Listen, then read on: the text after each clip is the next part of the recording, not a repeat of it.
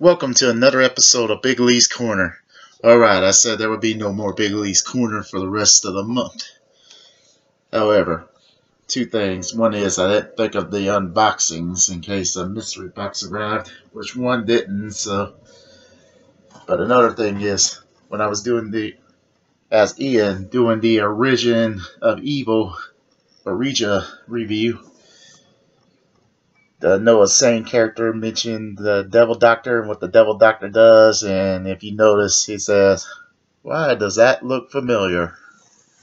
So I kind of thought, since none, most of you don't know what Ian Noah Sane's background story is, I thought I would go ahead and express what the Ian Noah Sane character is, how it, how it all came about. But anyway, First of all, the clothes of the gimmick. On Christmas Day 2002 in wrestling training, my trainer at the time, Marvelous Mitch Ryder, had this idea of a gimmick for me where I wear a Hannibal mask and hospital scrubs.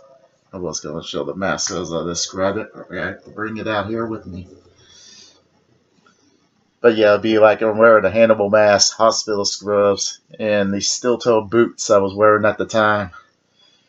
Because I had to wear steel-toe boots when I was working at Goodwill in the past, so I continued to wear them even though I haven't worked for Goodwill for over a year, almost by that point. And the background story of this gimmick would be is that, by the way, this would be a no-name character. There wasn't a name for the character yet. He also said he had a music plan for the character, but never told me what it was. I dropped out of training about maybe four weeks later. Anyway, I had other things on my mind, so I couldn't focus on continuing the wrestling training, so that character never came about. No, there was something that, oh yeah, there was no name for the character. So, it was just a unknown character in Hospital Scrubs and Hannibal Mask. However, let's see. Four weeks later, if I remember correct. Well, anyway, the day would be in January 15th. I did my, I actually managed to do a run-in. Hoosier's Best, Don Seals, uh, was cutting a promo how he reunited with his kidnapped son. Courier Express were were claiming that Don Seals kidnapped his own son and all that bullshit. I don't know the whole story exactly, but the whole point is Don Seals, after showing he's reunited with his son, he called out anybody. So first of all, a guy named Mr. X came in did a diving forearm on Don Seals behind his back. Don Seals uh, super kicks him and throws him out of the ring. And then yours truly runs in, hits Don Seals from behind with a forearm. And then I Irish whip Don Seals into the ropes and he hits me with a flying clothesline and throws me out of the ring. So the point is, Don Seals uh, hasn't been in CCW for maybe two yeah it was two years when I originally started coming up with the idea for the name of this gimmick. But since Don Seals is called Hoosier's Best and he hasn't showed up in CCW since that point, my gimmick was go. I thought about it. I did think about returning at some points. My gimmick was going to be. I call myself Hoosier's worst nightmare because in character Hoosier's best was scared of me because I was the last man to physically attack him on a CCW show, which, by the way, stands for Coliseum Championship Wrestling. But since I was the last man to physically attack him, that would be the gimmick of my character on this one. I mean, I'll be doing a double character, actually. Some people actually do a masked character and an unmasked character. Sometimes even two masked characters. But anyway, that's what that's what Big Lee and Hoosier's worst nightmare would have been. And then, about five years later, two, four years later, however many years are between 2005 and 2008. The whole point is in 2008, two of my coworkers, uh, Warren and Kathy, were talking about. Uh, Kathy used to be a nurse and everything. Well, anyway, I was listening in on their conversation. I was a third man working with them. But anyway, they were talking about how the way sometimes patients will sue doctors and shit like that. Sometimes just for a doctor giving them the facts or the patients will sue them. So here I was thinking to myself, the doctors fix these dumbasses.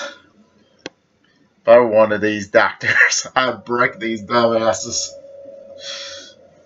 So here it was picturing this idea becoming actually becoming, you know, I don't know if I was serious about this, but I thought about were one of these doctors, I would get these patients in and then break them, do some kind of damage to them.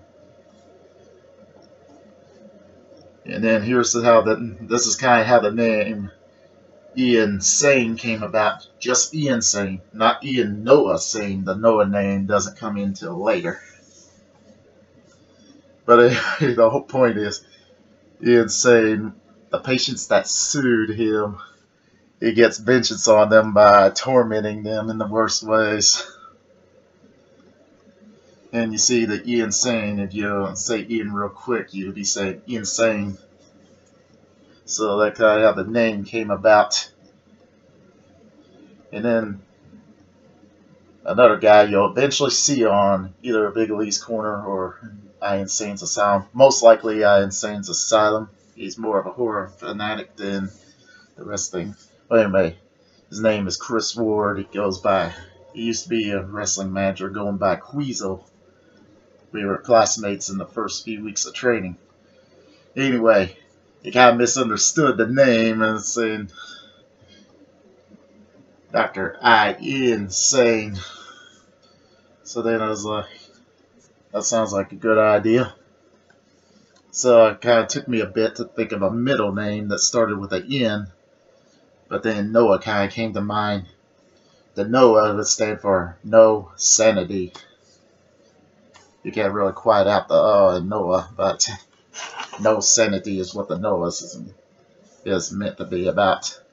So insane, no sanity. Is there anything else I was going to add on? Anyway, that's kind of how Ian Noah Sane was made. However, I did think of uh, making a movie based on those evil thoughts I was thinking of.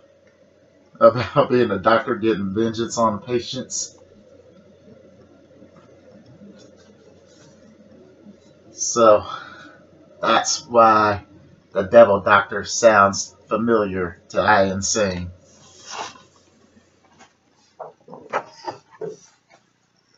I'm trying to think if there's anything else. I guess not, and I'll just wrap it up. That's all for this episode of Big Lee's Corner. It'll be posted on both of my pages, whether you're on I.N.SANE's uh, Asylum or Big Lee's Corner. This episode here will be the first one to be on both pages. That's all for now. I'll try to have a nice day. So as I press that